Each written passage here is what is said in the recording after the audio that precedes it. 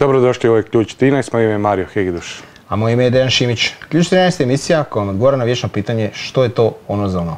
U današnjoj 57. epizodi Govorimo, to je govorimo o nečemu... 57. je? 57. Je, 5-7 banki. A, govorimo vam o nečemu, to su e, četke za skidanje boje, čišćenje va, zavarivanja i tako dalje. Znači pokazat ću vam neke stvari i osnove oko četki, puno ljudi to ne razumije, idemo vas naučiti e, šta možete sve sa četkama i koliko su u stvari one dobre. Dobre su. Dobre su, žestoke su. Bolje nego ručno. Bolje nego ručno, sigurno. Evo ga.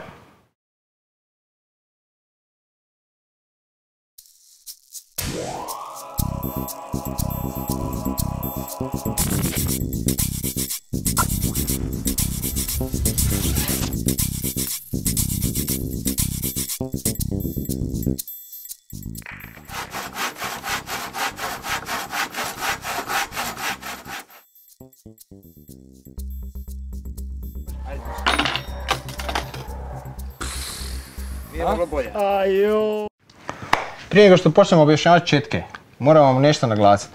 Obavezno zaštita na radu, nemojte se glupirat, nemojte se igrat s ovim, ovo je vrlo opasna stvar. E, prvo oči, znači evo vidite mi smo tu donijeli par modela naočala svakakih. Više modela, ovo je Više ko modela, formuli, ko formuli 1. Imamo ove E, vi sad bolje, sad bolje vidim. Da. Možeš ići ronit. Da, možete zaroniti i tako dalje.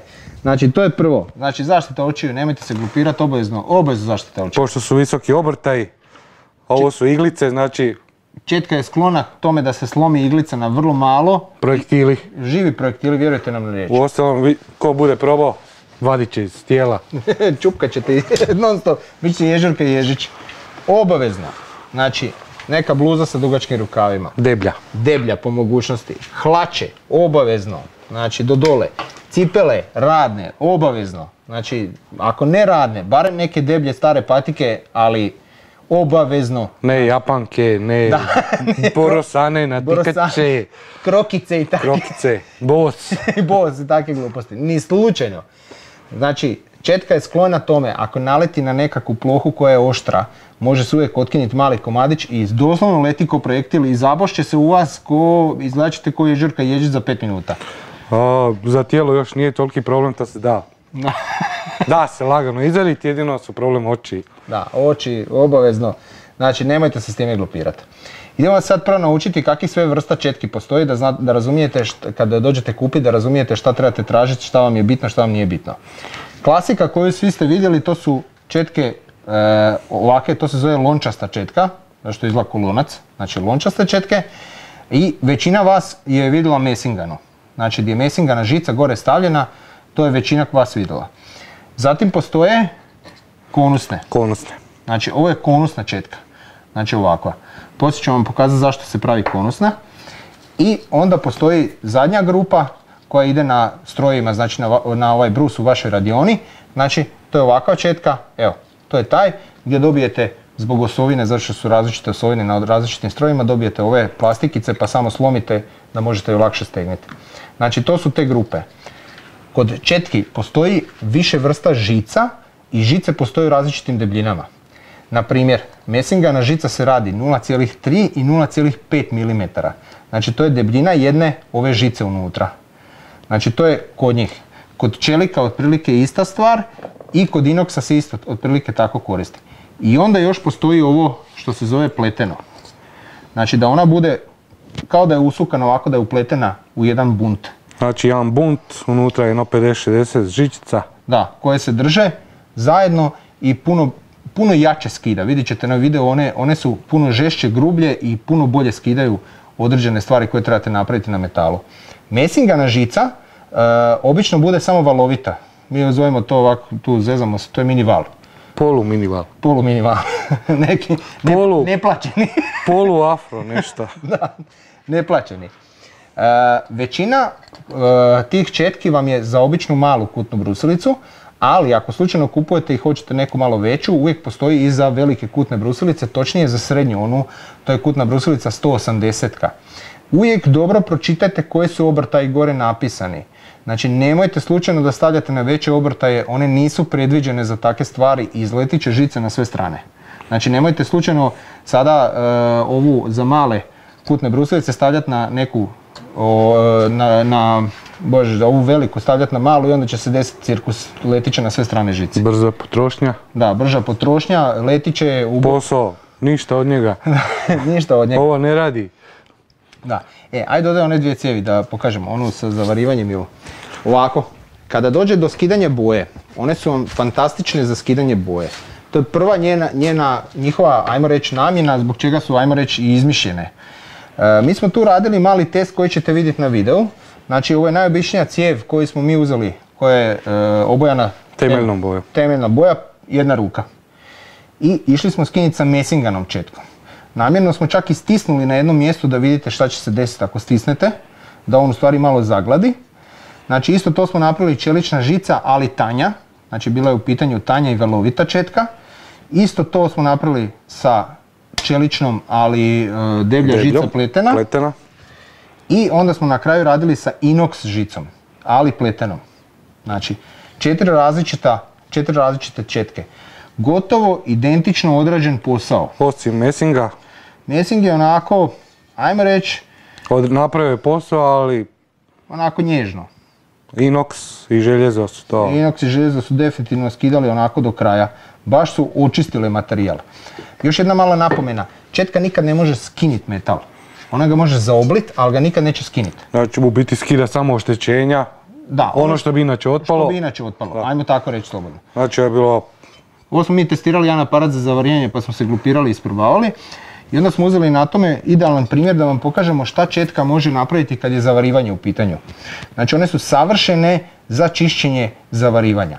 Znači kad hoćete onu šljaku, višak i tako dalje skiniti da znate da je ostalo ono zdravo. svu nečistoću Da, kod vara. Tako je. E, znači, tu smo koristili tri različite četke. Jednu čeličnu smo koristili, koristili smo jednu inox četku, znači ona je korištena i za kraj smo koristili ovu četku, znači to je ta konusna četka. Konusna pletena, gruba. Da, idealna za te nedostupne stvarove, stva- s- ono kad imate te kuteve i tako dalje. Ujedno, e, kao što ćete vidjeti u videu, mi smo čistili jednu ogradu, poveću, znači onako metražom je, ima 20 metara. Skoro. Skoro. Da. Ko da ima sto. Ko da ima sto. Da. Pa ako ne i više. Očistili smo tu ogradu. Na toj ogradi e, ima jako puno detalja. Potrošeno je jedno 5 do 6 četaka. Prije toga je vlasnik ograde potrošio ovih mesinganih Vrećicu. poveću vrećicu. Da. Zato što nije znao da treba u stvari ići sa čeličnom, znači da je idealno ići sa čeličnom i da ide sa e, malo grubljom. Znači bolje će brže skidati, a jednaki posao će napraviti i s druge strane ako može naći valovitu još idealnije zato što će, e, sama četka je onda izdržljivija. Znači puno više metara ćete napraviti. Isto je kolega pokušao prvo bez zaštitne opreme raditi, pa je krenuo sa sunčanim naočalama, pa je onda na kraju ipak investirao cijelih nekih 14-15 kuna Da. za zaštitne naočale, Bacio se u trošak. umjesto krokica, cipele. Cipele, duge hlače, obavezno neka majica, barem nešto morate imati dugačkih rukava, kožne rukavice obavezno, ista stvar, jer će tu će vam letiti u ruke i tako dalje. Kožne rukavice obavezno. Evo, nemojte se to, zaštita obavezno. E, još jedna mala napomena, ovdje četke koje pokazujemo su većinom 90% je Osborne e, proizvođač, ovo jedino je Kina. Ne Ozzy Osbourne, nego Osbourne firma. Da, Osborne firma, da.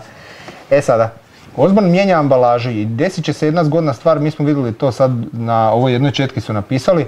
Znači ovo je stara ambalaža, ovo je nova ambalaža. Na novoj ambalaži će vam pisati točno koliko metara ili kvadrata određena četka može napraviti. Što vam je vrlo zgodno da znate, recimo imamo toliko metara ograde, praktički će mi trebati dvije četke, treba će mi jedna četka Znači 100 metara s jedne strane, 100 metara s druge strane. za preći. Plus u sredini ono, malo ono između i tak dalje, nakupi se. Konkretno znači za ovaj model, di nam je ta četka, evo, za ovaj model su oni napisali da je 100 metara. Znači da ona mora riješiti 100 metara nekog zavarivanja, nekog čišćenja boje i tako dalje, znači mora preći. Evo, to je njen maksimum što ona može napraviti, što vam je jako zgodno kad idete kupiti četke, znate koliko trebate. Jel tako? tako. To je što se tiče četki. E, inače ih toplo preporučujemo. za sve ograde, Ubrzavaju posao, maksimalno. maksimalno. To je drastična razlika u odnosu na bilo što drugo. I da imate ideju, još ima jedan e, tehnički podatak.